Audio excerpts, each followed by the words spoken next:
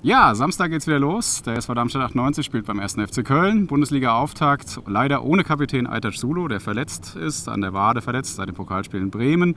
Trifft auf einen alten Bekannten, die 98er. Konstantin Rausch spielt mittlerweile für den 1. FC Köln, freut sich auch sehr auf das Spiel. Norbert Meyer freut sich drauf. Die Mannschaft freut sich drauf. Keiner weiß so wirklich, wo er steht. Erstes Spiel. Hunderte Darmstädter Fans sind unterwegs per Schiff nach Köln. Und schauen wir mal, 50.000 Zuschauer, tolle Stimmung in Köln. Wird bestimmt ein super Spiel. Samstagabend hoffen wir auf ein gutes Ergebnis.